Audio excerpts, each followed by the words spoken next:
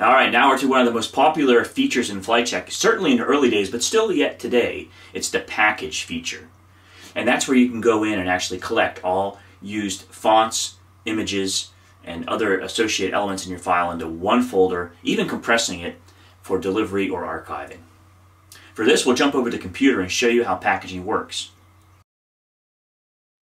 Okay, so now that we've um, learned how to set up the ground controls under pre-flight, we can now uh, get in there and we have another video on how, the different pre-flight modes, I can check the files out. And now I have these PDFs, in this case, an InDesign file and a Quark file.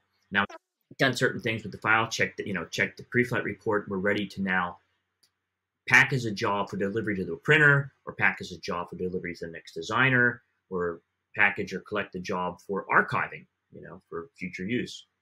So how you do that is with the package feature right here. You just simply click there and you get the full options. We'll package up everything in the document. The file itself will even include an IDML. If you have one of our MarxLine products, you can actually click that on. You'll actually get an IDML of the file as well. This is InDesign file we're doing now. So if someone had a lower version, they could open it in a lower version. Um, it'll collect all the fonts, all of the images, and it warns you that you know there are some missing, of course. Uh, all the page previews, you can say, well, all I really need is uh, PNGs of the page previews, or maybe all you want are PDFs the page previews, whatever it is you want. So FlightCheck does all this for you.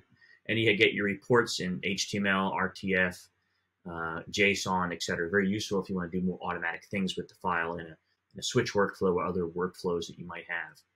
Uh, FlightCheck is also completely scriptable. You could also compress the file. You can even automatically open the package in something, for instance, you know, to take things further in your workflow. a little summary there, the package details, and we have more information there. So now when you click, I'm not going to compress it now, but very handy if you're going to, you know, send this off via, uh, you know, WeTransfer or some other method to send to somebody, you might want to package it.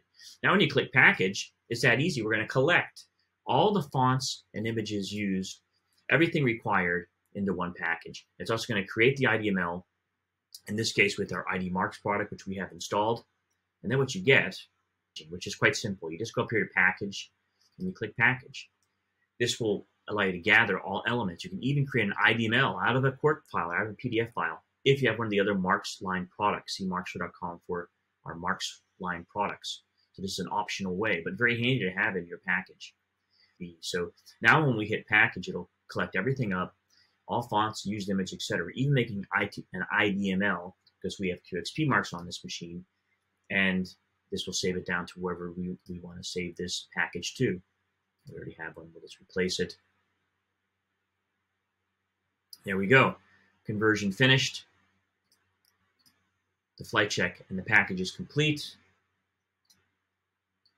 We go over here, we see, we get a watch out, there's some problems, but if we go in there, we get all the information needed, all the files needed, the QuarkXPress file itself. Same thing with InDesign, it will collect and package them. All the fonts used or that were available for collection, the uh, PDFs of each page, and the IDML of the entire document. So very handy if you need to give this Quark file to someone in InDesign world, you can give them an IDML to open in InDesign. Very handy if it's an InDesign job, like over here, you want to hand off your InDesign file, maybe they have a lower version of InDesign, they can now open it with the IDML. So these are very handy things in addition to the preview and pre-flight. You can also package with FlightCheck 2022. For more information, cruising over to markzware.com.